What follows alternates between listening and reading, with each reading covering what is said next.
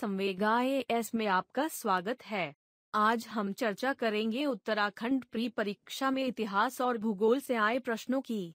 किस भाग से कितने प्रश्न आए, यह जानकारी आपको अपनी रणनीति बनाने में सहायक होगी।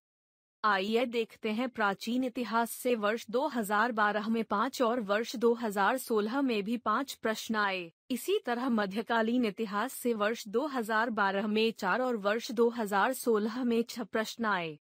और मॉडर्न इतिहास से वर्ष 2012 में छह और वर्ष 2016 में आठ प्रश्न आए। अब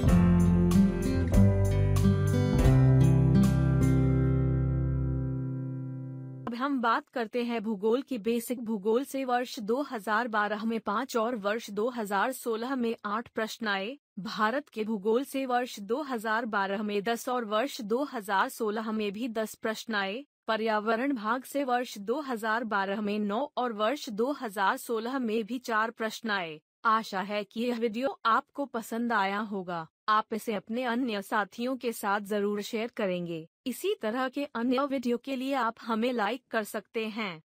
आपका बहुत बहुत धन्यवाद। स्वस्थ रहें, सुरक्षित रहें।